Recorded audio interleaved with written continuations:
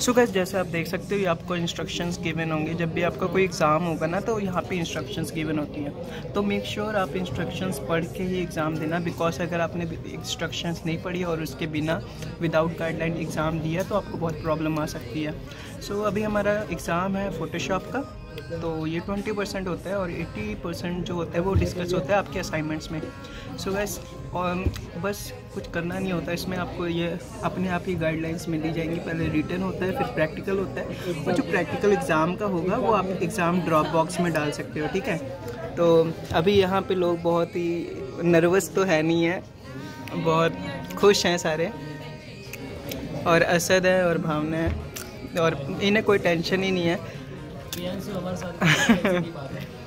तो आपका एक अलग पोर्टल होता है। आपको बस अपना पोर्टल लॉगिन करना है और वहाँ पे आपको गाइडलाइन मिल जाएगी। और सारे खुश लग रहे हैं, बहुत सारे खुश हैं। तो कोई सीरियस नहीं आ जाए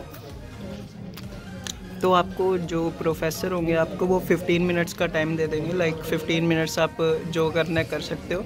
उसके बाद आपको रिटर्न एग्ज़ाम होगा प्रैक्टिकल एग्ज़ाम होगा। प्रैक्टिकल एग्ज़ाम की गाइडलाइन आपको गिवन होगी, ठीक है? और आप कुछ कहना चाहेंगे? सब्सक्राइब सब्सक्राइबर्स को कुछ कह दीजिए, अच्छे सा मैसेज दे दीजिए।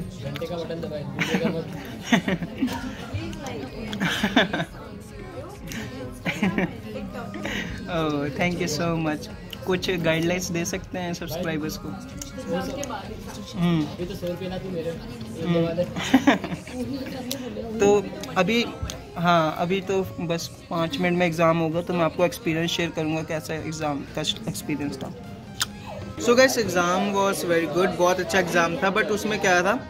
जो आपको असाइनमेंट मिलेगी उसी के रिलेटेड आपको मिलेगा सो ये now it's PS time no exams enjoy तो अभी हमारे ये एक एरिया है जहाँ पे गेमिंग एरिया होता है सो यहाँ पे लोग रिलैक्स भी करते हैं, आपको यहाँ पे दो माइक्रोवेव मिल जाएँगे, आपका खाना अगर ठंडा हो, आप गर्म भी कर सकते हो।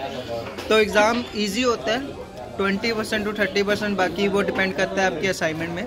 असाइनमेंट अगर आप टाइम पे करोगे तो आपके लिए ईजी होगा और आप ईज़िली अच्छे मार्क्स स्कोर कर सकते हो। हाँ अगर आप के फाइनल में अच्छे मार्क्स नहीं आते तो घबराने की कोई बात नहीं, क्योंकि अगर आपने असाइनमेंट टाइप पे की होगी तो आपके लिए बेनिफिशियल होगा। सो so गैस यही थी, यही इन्फॉर्मेशन थी एग्ज़ाम्स के बारे में। आपने बोल रहा था कमेंट में ज़रूर की कमेंट में बता आपने मेंशन किया था कि एग्ज़ाम बताओ एग्ज़ाम का पैटर्न कैसा होता है। तो वो मैंने आपको पैटर्न बता दिया।